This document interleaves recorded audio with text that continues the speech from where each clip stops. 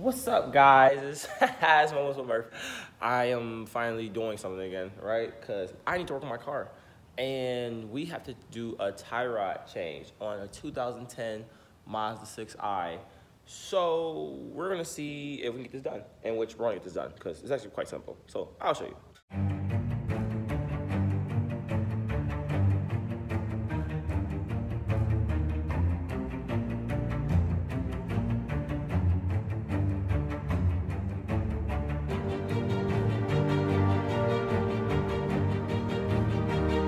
So what do we need here? Well, of course, we need a new part, okay? That's how new one links. We need gloves, because somebody messed with my old ones at myself. We need a jack to lift the car up. Need the car itself, right? Okay, and your tools. So for these lug nuts, are size 21, so you gotta get your 21 socket, in which, you know, it'll be in this box. In this box. So back here somewhere, yep. And then a ratchet, but also need the breaker bar to take the lug nuts off. So this car sits quite low for this type of jack, right? So what I had to do was get it up here on the curb or the garage because it's lifted, right? So now I can slide just under here. So of course we gotta jack up the car. I'm not not necessarily gonna show that because I'm pretty sure I've shown that before and we should know how to jack up a car. If not, there's videos. I got videos too. So I'm only gonna halfway show. So really, we just wanna get to a point where the car begins to lift, right? But we're not gonna lift it all the way up because we still gotta break the lug nuts off first. All right, so since we're on the left side, think about it, unloose this way, so that means we gotta go this way, right? We're gonna do that for all of them. Okay, so this is the old one, right? So this right here is your tie rod end, and this shouldn't move. So let's play a game called Does It Work? Let's see. Oh, you see that?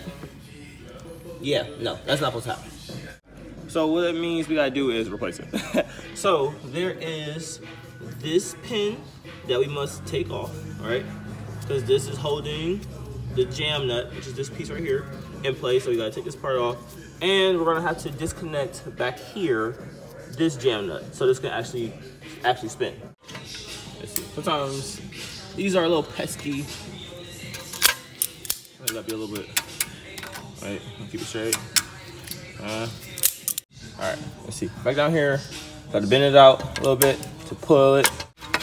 Basically, it is gonna come out. There we go. God, jeez. And that's your pin. All right, so this part has to come loose, right? So took a little minute. I ain't gonna lie to you like the other people, because mine is, as you can see, kind of rusted. This is a 21, right? And this is what you're gonna get on here in order to break it off.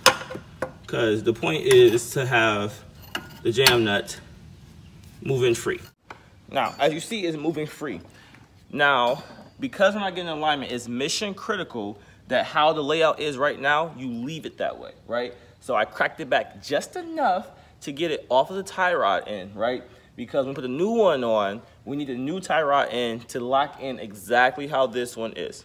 So it's broken right here, but it's not backed off that much. So next, we're just gonna take this jam nut off, the crown. And this is probably a 17.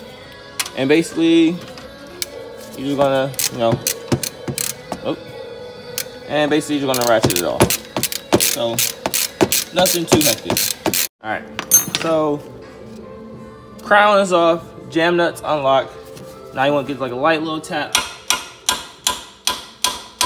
All right, well mine's a little rusted. So we're gonna spray something around here and then let it sit and then whack it again. After a few whacks, I gotta pull it out, you know, you can get it back out. So this, yeah. Now again, keep the steering the same so you won't knock your wheel out of alignment. Then, you know, this just basically screws off. As you see, we release our jam nut. So now this just turns and turns for us. As always, we do our side-by-side -side comparison of the new parts versus old. So same length. As we see, the new boot, nice and tight. All right, you see that? It doesn't, can't move it with my thumb, right? Right? You see this one's about worn, and I can just play with this. I can just, it's a little joystick. I can just play with this. So again, so with the new one, we're gonna screw it on, right? Just like we screwed the other one off. And remember, we're only gonna screw it back to the point of where we barely broke the jam nut off because we don't want to knock this out of alignment. All right, so it's just about screwed in there. Remember, ours is from the bottom, so we have to place it back in from the bottom like it was, and basically this is gonna slide up through here, and then I'll put the crown on. So Moog surprise supplied us with a new crown, so of course we're gonna just tighten this on. Or we're not gonna tighten it, we're just gonna place it on. So this way, it doesn't move, right? And what we're going to do next is actually tighten the jam nut back. All right, so go ahead and go ahead and put that in the back.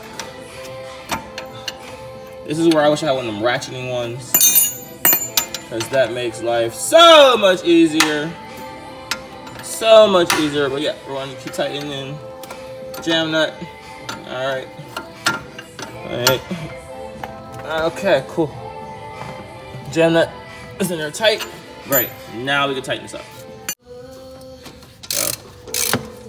Yep.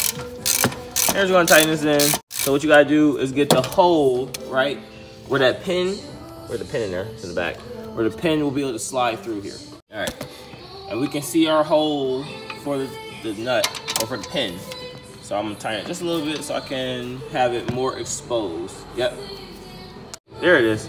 Have our pin, and we're gonna just slide through the hole here. So, bam, right? And then we're just gonna bend it out. So I'm a smidge it lazy, so I can just do a one bend off either to the side or to the top. But typically I'll just do it to the top and just double it off. Because the whole point is as long as it's curved, right? Cool. So now we do another tech. See that? No movement. That's what we're looking for and no movement back here in the inner. This is your inner tie rod, this is your outer tie rod.